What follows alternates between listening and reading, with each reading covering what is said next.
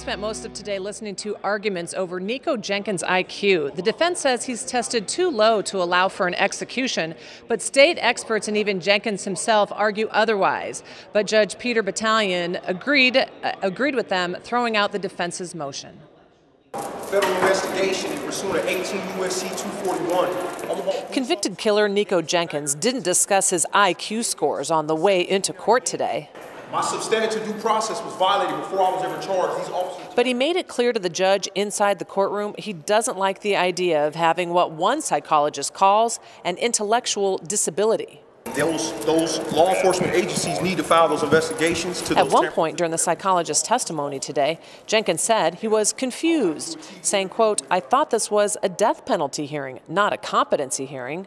All the while, during testimony, the two judges from Kearney and Madison counties, ready for the death penalty phase, sit in the jury box, listening to the psychologist and to Jenkins' numerous interruptions.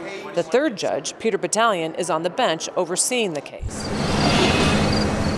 Than three years ago, in August of 2013, Jenkins killed four people within a two week time period. Jenkins admitted to the killings, but many hearings over the last few years have dealt with Jenkins' mental state. Chief Public Defender Tom Riley said the proceedings should end now. Give him four life sentences, he tells the judge. The parents of one of Jenkins' victims, Andrea Kruger, listened as well to today's testimony, telling me they plan to be here for the rest of the court proceedings. And late this afternoon, some fireworks erupted between Jenkins and his defense lawyer, Chief Public Defender Tom Riley. Uh, Jenkins says he wants to testify on his own behalf, but Riley says that would be like, quote, putting a noose around his own neck because he doesn't know what he's doing. And Riley, Riley said he may even withdraw as his attorney. The death penalty phase will continue tomorrow. We are in that phase with with uh, Douglas County Attorney Don Kleine putting on his case saying there are nine aggravating factors. We'll have more coverage for you tomorrow. Reporting live from the Douglas County Courthouse, Michelle Bandur, KETV, Newswatch 7.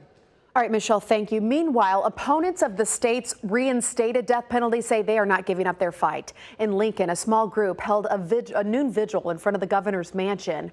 Longtime death penalty opponent Fran Kaye has taken part in these for decades at least a few of us will probably just keep on doing it because it, it is one visible way of reminding people that this isn't over. Nebraska Governor Pete Ricketts was not in Lincoln today. He is on a trade mission in Hong Kong. Council Bluffs police say they do not expect any charges in the crash that killed 11-year-old Blake Smith. A van hit the child near East Kanesville Boulevard and Benton last Wednesday.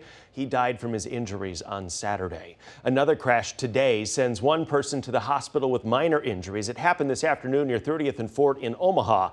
Investigators say the person driving the Hyundai Sonata turned in front of a pickup with a flatbed trailer. There were three people in the car and the front seat passenger needed a couple of stitches, but no one in either vehicle was seriously hurt.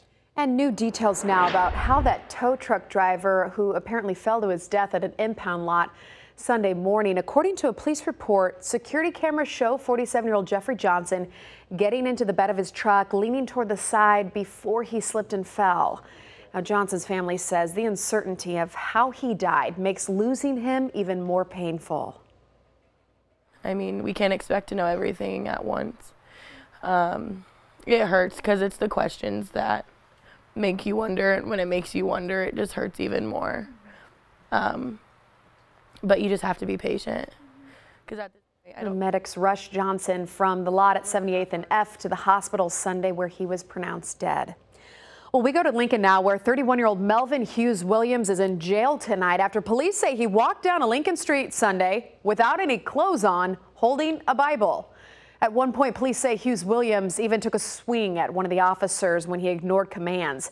He was booked for assaulting an officer. President elect Donald Trump is shaping what his White House staff will look like, and one pick is already sparking controversy. Trump named former Breitbart News leader Steve Bannon as his chief strategist. Bannon was Trump's campaign CEO for the last several months. The Anti Defamation League condemned Bannon's appointment, claiming that he has ties to white nationalists. But Trump's newly named White House chief of staff, Reince Priebus, defends him. I find him not to be uh, the way that he's being accused. I find him to be the opposite, and I think people need to, to give people time and give people an opportunity and not make judgments. Don't judge people based on what other people say. Kellyanne Conway, Trump's campaign manager, says the president elect will be naming more members of his administration soon. And in the wake of Trump's tough, tough, talk about immigration on the campaign trail, the nation's Roman Catholic bishops urged the president elect to adopt humane policies toward refugees and immigrants. The group made their plea today at the start of a conference in Baltimore, saying they continue to offer aid to people running from conflict and violence around the world. Well, President Obama took questions today from reporters before leaving on his final major trip abroad. KTV News Watch 7 Sally Kidd has the latest from our Washington Bureau.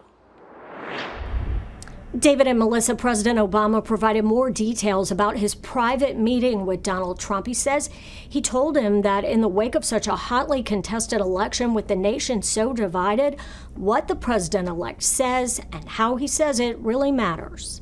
Gestures matter, uh, and how he uh, reaches out to groups that may not have supported him, uh, how he uh, signals his interest uh, in their issues or concerns. Uh, I think those are the kinds of th things that can set a tone.